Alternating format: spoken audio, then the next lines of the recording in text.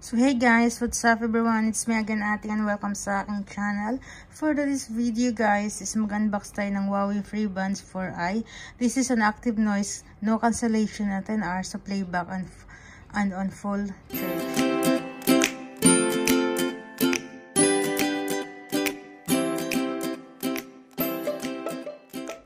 So ngayon i-unbox na natin ang ating Huawei. Ito ay isang Huawei Free Buds 4i active, no cancellation, 10 hours of the playback on a full charge. So, it comes from packaging. Maganda talagang packaging ng Huawei. So, yan. So, nakalakay dito sa likod is Huawei FreeBuds 4i. Active noise cancellation. Uh, 10 hours of playback on a full charge. Crystal clear audio.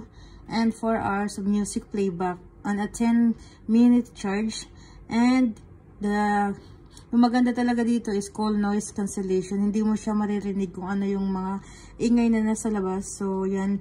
Yan, let it see kung totoo ba talaga yung nakalagay dito na no uh, call noise cancellation. So, uh, ano natin, i-unbox na natin. Titingnan na natin siya. By the way, the color of this one is red. So, yan. Buksan na natin ang ating If you can see, yan, nakalagay.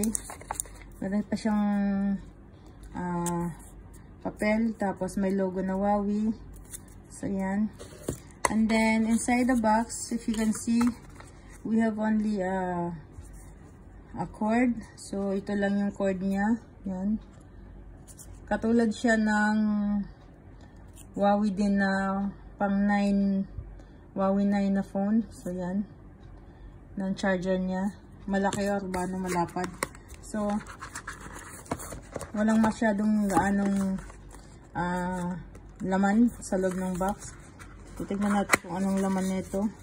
So, meron silang extra na pang sa tainga. Nakalagay dito is uh, red, left, and this is uh, red naman is uh, right. Tsaka may code sila dito sa gilid. Tapos, nakalagay sa plastic is this bag is made from com compost compostable material using the healthcare environmental friendly environment. So yan, meron silang Huawei FreeBuds na catalog kung paano gamitan na paano start. So yan, tutay natin mamaya. So, ito naman is yung safety information kung how to use actually. Di ko alam kung anong language nito kung right nito. I guess this is ah meron siyang English din. So yan anyway. So pupunta tayo mismo sa loob ng ating uh, airpods. So if you can see color red siya. So yan. Ito yung charger. Tapos yan. So if you can see it's red na red pulang pula so yan i-connect lang natin siya dito sa ating phone. Pwede po siya to pang uh, iPhone. Pwede rin siya na Samsung, Huawei or pang Android. So, yan. Yun ang napakaganda nito. Ito yung 2020. I think nalabas noon. So, if you can see, ang ganda ng kulay niya. Yan siya. So, gagamitin natin yung isa. Titingnan natin yung isa. So, if you can see, yan, maiksi lang yung ano niya, yung parang handle niya dito, maiksi lang. So, yan, meron siya dito na nakalagay na parang speaker, I think. And then, meron siyang speaker. Tapos ito naman sa tainga. So, yan. Hindi masyadong maraming kait-ikan yung Huawei na Air, uh, AirPods, uh, FreeBuds for for eyes. So, hindi siya marami ito. So, available pala nito guys. Yung color is uh, white, red, and black. So, yan. So, I will keep update guys kung maganda ba talaga siya sa pagdating sa mga music or calls kung makakaya ba siya like na hindi ba siya maka or hindi ba natin maririnig yung mga ibang mga noises sa outside so i-update ko po kayo sa mamaya maya guys so hey guys uh, kinonik ko na sa aking Huawei uh, inon ko na yung bluetooth ko so if you can see nakita nyo na yung bluetooth connected na sa uh, Huawei Fit uh, 42D kasi ito Huawei Fit 42D yung airpods niya so punta lang tayo sa, sa, sa music kung Okay, tama ba yung sinabi nila na hindi daw maka-adapt daw ng ibang ano ah uh, boses. Ganon.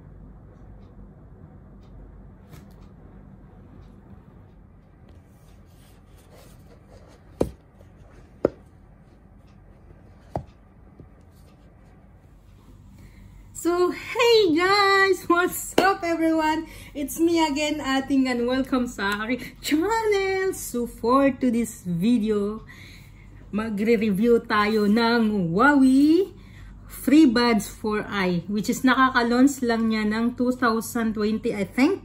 Correct me if I'm wrong. So, nakalagay dito, sinasabi noise cancellation. It's 10 hours of playback and full charged battery. So, yun ang sinasabi dito sa Huawei FreeBuds 4i. Since na nakabili ako ng Huawei FreeBuds 4i, shout out pala dyan sa aking mister na binilan ako ng Huawei FreeBuds 4i. So, gagawa po ako ng review regarding sa FreeBuds na ito kung totoo ba talaga yung sinasabi nila na uh, active noise cancellation. So, without further ado, please keep on watching. So, hey guys, I'm back, I'm back, I'm back, I'm a back. I'm back again guys. Since na sinasabi nila is active noise cancellation daw yung Huawei FreeBuds 4i. Based sa aking experience, kasi nakabili din ako. So, gagawa tayo ng review about sa Huawei FreeBuds 4i uh, based sa aking experience, nabili namin siya mga 2 weeks na.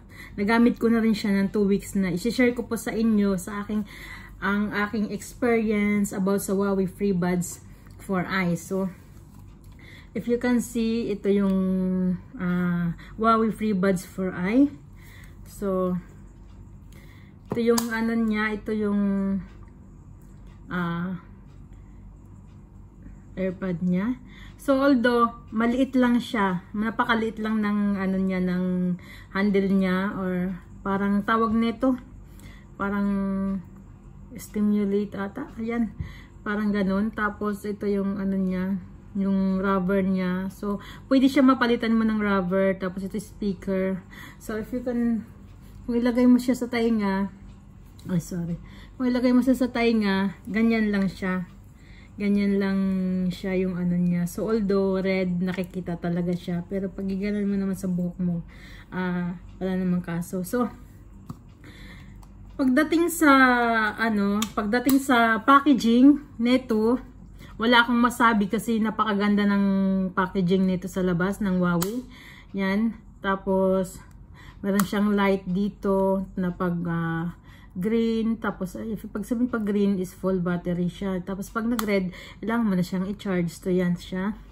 So, based sa aking experience na active noise cancellation, na, guys, pag nilagay niyo siya sa tainga nyo, naka-automatic na yan connected sa phone nyo at saka sa AirPod na to. Nakakonect na siya. So, pag idiniin nyo siya ng ganon, hindi siya hindi siya, ay, for example, kung iganyan niya siya, makarinig kayo siya ng, ano, ng, uh, makarinig kayo ng ibang something na sounds galing sa labas. Pero pag pinush niyo siya dito na parang gano'n na push na diin na diin talaga siya, as in wala kayong marinig sa labas na kahit anong noise, which is na sinasabi nila active noise cancellation, which is na totoo talaga siya. Tapos, iganon mo lang siya, idiin mo lang talaga siya, wala kayong marinig as in, as in, kahit na parang, parang feel nyo na mag-isa lang kayo, tapos feel nyo na ang lalim-lalim na wala kayong naririnig. Kumbaga parang bingi kayo as in, wala kayong naririnig sa mga, mga noise sa labas. So yan, totoo siya na active noise cancellation. Tapos, kung makarinig man kayo ng boses sa labas, if you can hear some music or sounds from outside, so meron magsasalita na operator na noise cancellation. So, pag sinabing noise cancellation, automatic cancel nila kung ano man ang nasasagap na mga voice na galing sa labas, which is na uh, okay siya. Very nice. This one, thumbs up. So, totoo yung active noise cancellation. Uh, totoo talaga siya. Walang halong biro. Kung meron kayong free buds 4i na AirPod, totoo siya. Tapos, pag sinabi naman na 10 hours playback on full charge. Totoo talaga siya kasi 10 hours playback is full charge. Totoo siya, matagal siyang malubat. Tapos, uh, okay siya. Hindi siya nag, nag, yung parang nagda-down yung ano niya, yung battery niya. Tapos, pag sinabi naman crystal clear audio, ang crystal clear audio niya, dalawang ways kasi siya. Pag, igan, pag idiniin mo siya mismo sa loob ng tainga mo, which is na parang wala kang ibang narinig kundi yung music mo lang narinig at saka yung tugtog niya, buong buo yung tugtog niya as in talaga napakaganda.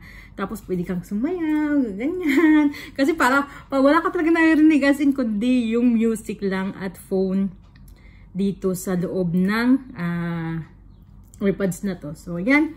Uh, tapos, nakalagay dito is 4 hours music playback and 10 minutes charge. Totoo yun. Uh, kasi isang beses, na-charge ko siya. So, nag-charge ako ng mga 1 o'clock in the night. So, pinanuhan ko siya, tiningnan ko siya. Mga 2, 2 tapos na siya, na, tapos na yung charge niya, completely done charge. So, yan is good. And then, pagdating naman sa noise cancellation ng calls, uh, yun lang yung sometimes na ito lang yung uh, ewan ko kung pati ba sa inyo din kung ganun ba din yung nararamdaman nyo kasi ako kasi pag may kausap ako sa phone sometimes na mahina ang ano niya mahina ang uh, callback mahina yung ano niya tapos pero pag idiniin nyo naman ng ganito, automatic siya. Pag two times like that, pag ginanin nyo mo siya dalawa, automatic na mamatay. So, ito, pag inan nyo to, pag nag-call naman siya, pag ginanyo mo siya, pag dalawang ganun mo siya, pag dalawang press mo siya, napapatay, namatay yung call mo to. So, tawag ka ulit. So, anyway, it's not a big deal about this uh, call. As long as the AirPods is uh, Maganda yung AirPods, active noise cancellation. Tapos, meron siyang 10 hours playback in a full battery. And it has a clear crystal audio. So, totoo siya. And it had a 4 hours music playback in 10 minutes charge. So, sinasabi na 10 minutes charge, I don't believe it this. But, for me, it's my best, based in my experience is 1 hour kasi yung inano ko.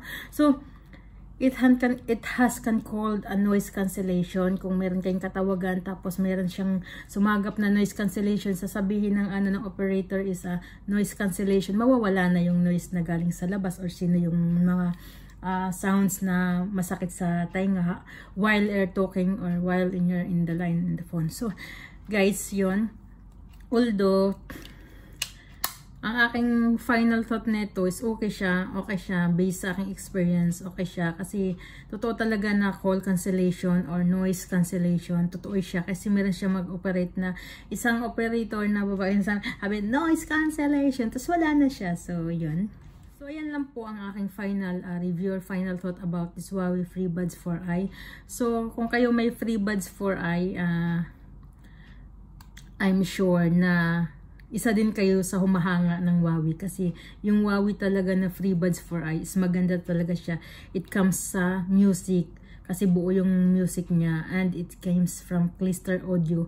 Maganda talaga yung audio niya so as in full as in talaga na buo yung impact niya pag pag may music na ano as in buo lalong lalo na pag ilagay niyo dalawang AirPods sa loob ng ano gagamitin yung dalawa. But for me isa lang ginagamit ko kasi sometimes hindi ako makarinig sa kabila or uh, isa lang yun dito. Kasi sinasabi uh, sabi naman nila lahat ng bagay is nakakasama kung kayo ay umaabuso sa paggamit ng isang gadget. So well isa lang ginagamit ko dito. So guys yun thank you for so much for watching. If you like my video please give a thumbs up and see you in my next one. Bye. See you